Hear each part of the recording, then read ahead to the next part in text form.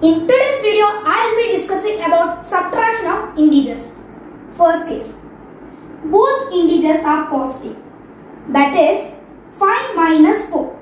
Here you can see that both the integers are positive and 5 is greater than 4. So you can just normally subtract it.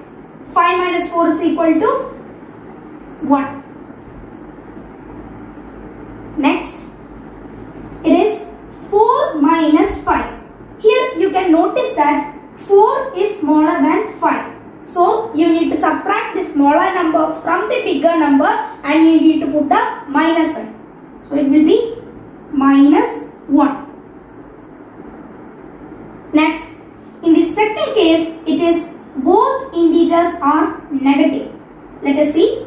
Minus 5 minus minus 4. Here, minus into minus is equal to plus. So, I can rewrite it as minus 5 plus 4. To solve this problem, we need to subtract the smaller number from the bigger number and we need to put the sign of the bigger number. So, it will be minus 1.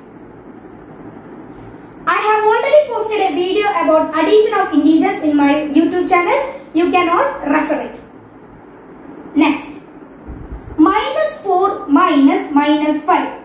Here also minus into minus is equal to plus. So you can rewrite it as minus 4 plus 5. So 5 minus 4 is equal to 1 greater number here is 5 and as 5 sign of 5 is positive. So it will be positive 1.